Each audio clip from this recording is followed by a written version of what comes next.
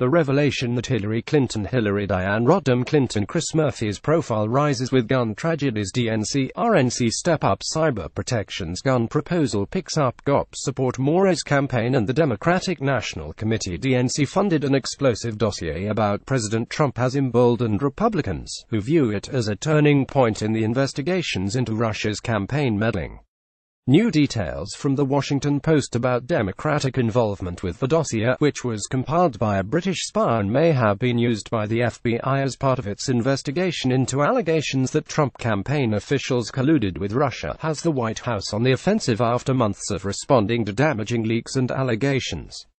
Trump blasted the fake dossier and described it as the cornerstone of the whole Russia hoax at an impromptu news conference Wednesday on the South Lawn of the White House.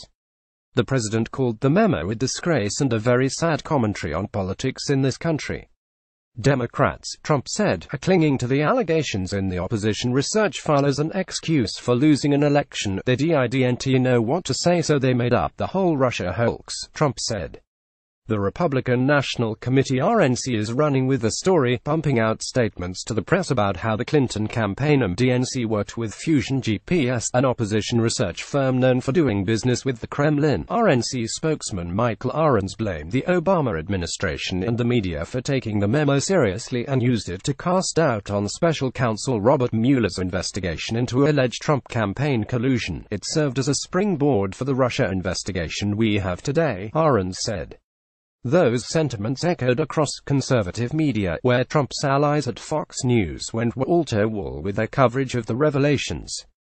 The latest, head-spinning turn of events comes amid reports that Tony Podesta, a lobbyist and the brother of Clinton campaign chairman John Podesta, has attracted the scrutiny of Mueller's investigative team.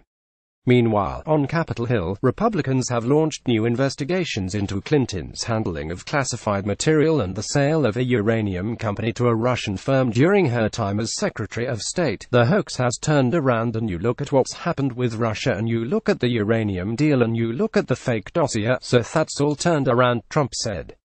Democrats were thrown into the unfamiliar position of having to defend their involvement with the memo, a centerpiece of the Russia investigation, after months of celebrating every incremental development around the alleged Trump-Russia connection. Clinton's allies and former campaign officials blasted back over Twitter and in interviews on cable news, describing Democratic involvement with the memo as typical campaign opposition research.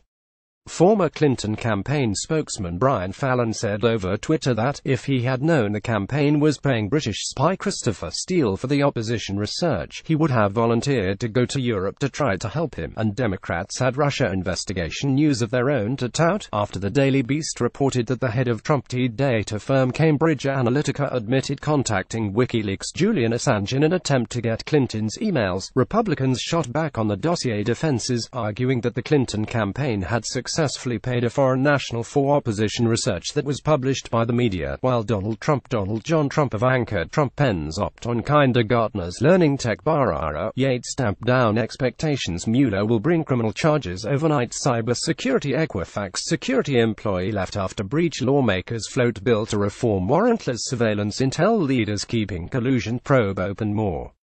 Jr. has been relentlessly attacked for trying and failing to obtain campaign dirt on Clinton from a Russian attorney.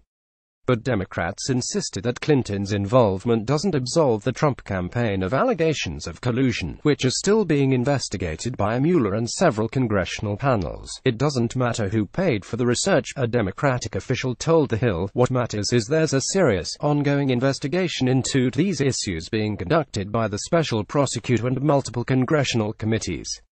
This is the latest in the Republicans' only remaining strategy. They can't control Trump or discredit the serious investigation into Russian meddling, so they revert to distraction and diversion. Rep.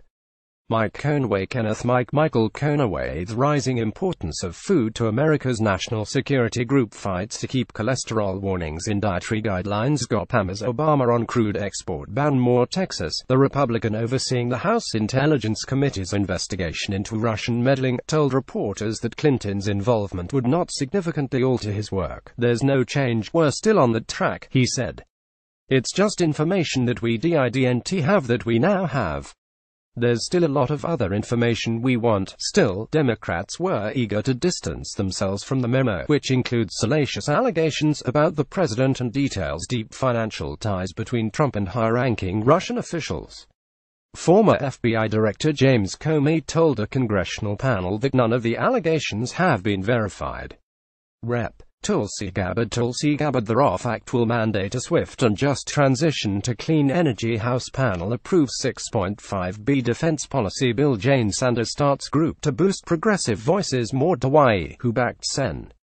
Bernie Sanders Bernard Bernie Sanders Murphy's profile rises with gun tragedies. Clip shows Larry David and Bernie Sanders reacting after discovering they're related. For now Trump dossier creates more questions than answers. More IVT over Clinton in the Democratic primary said in an interview on CNN that the unsubstantiated dossier is part of the reason Americans are disgusted by Washington. A spokesperson for Democratic National Committee Chairman Tom Perez Thomas Edward Perez Clinton's top five vice presidential picks government social programs triumph of hope over evidence labor's wasteful spending and mismanagement at workers' comp. Moore told The Hill that the new leadership of the DNC were not involved in any decision-making regarding Fusion GPS nor were they aware that DNC law firm Perkins Coie was working with the organization. Rep.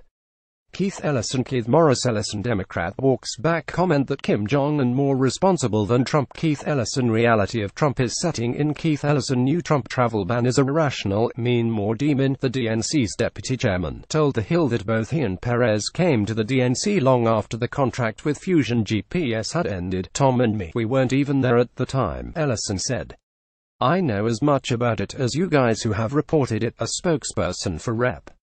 Debbie Wasserman Schultz DFLA, the previous DNC chairwoman, said she was not aware of anything related to this research arrangement. Democrats with close ties to the National Party said the DNC was not empowered to make campaign decisions at a time when it was dealing with email leaks and Wasserman Schultz was being forced out.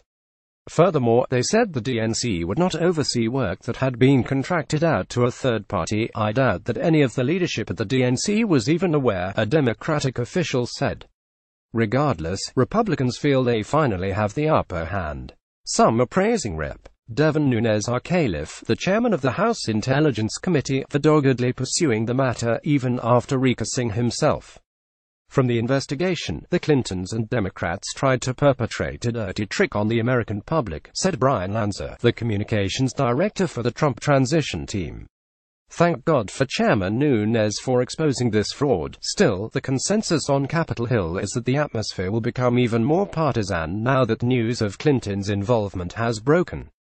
There is deep skepticism that congressional investigators can achieve meaningful consensus, raising the stakes for Mueller and his team. If the congressional inquiries weren't dead already, they are dead now, a congressional aide said. Mike Lillis and Katie Bo Williams contributed.